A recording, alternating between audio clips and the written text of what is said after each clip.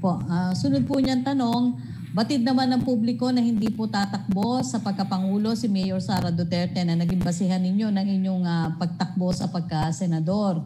Hindi ba sumama ang loob ninyo sa kanya dahil sa kanyang naging desisyon? Mananatili pa rin pa kayang ah, tagapagsalita ng ah, Pangulo?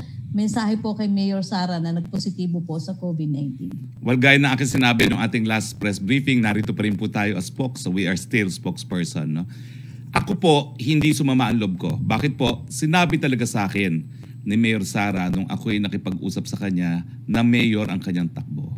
That was when my heart was broken dahil I wanted her to run for president. Pero syempre, umaasa tayo na baka magbago ang isip. Pero hindi na nagbago. So sa akin po, alam ko na po ang desisyon. Uh, I was still praying and hoping na magbabago pero wala pong dahilan para sumakit ang aking loob.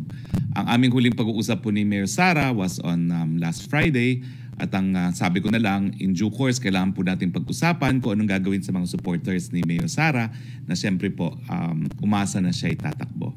Pero wala pong samaan ng loob. No? Um, talagang desisyon naman po yan ng kandidato. No? Now, um, So yun po, no? Uh, ang mensahe po natin kay Mayor Sara at saka sa kanyang pamilya, please keep safe and get well soon. Opo.